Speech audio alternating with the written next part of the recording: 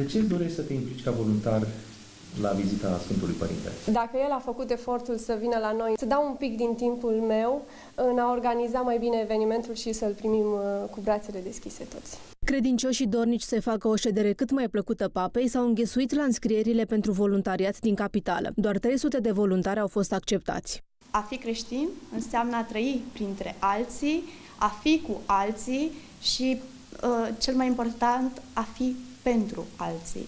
Și uh, munca, de volu- munca de voluntar, de fapt, asta înseamnă.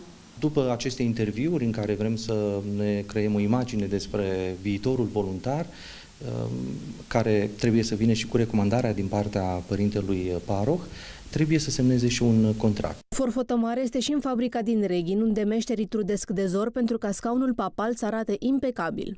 După ce Peter nu a fost digitalizat în uh, departamentul de proiectare, a ajuns la mașina de uh, brodat, care are o dublă funcție, are și funcția de matlasare. Ne aflăm la sfârșitul primei săptămâni de producție. Uh, până acum s-au uh, realizat structurile pentru piesele de mobilier, iar următoarele două săptămâni uh, urmează să trecem la faza de tapizare și de, mă rog, mici detalii de final. Scaunul pe care se va așeza Sfântul Părinte va fi decorat în stil romantic, iar modelul tapițeriei imită un element din pictura altarului Catedralei Sfântul Iosif din capitală. Rozeta centrală ilustrează modelul unor vitralii din catedrală și amintește de legătura pe care o au acestea cu cerul. Sunt sora Hermes și sunt cariocărița. Ajut cu câteva lucruri, așa. Foarte, foarte important pentru noi, cel puțin.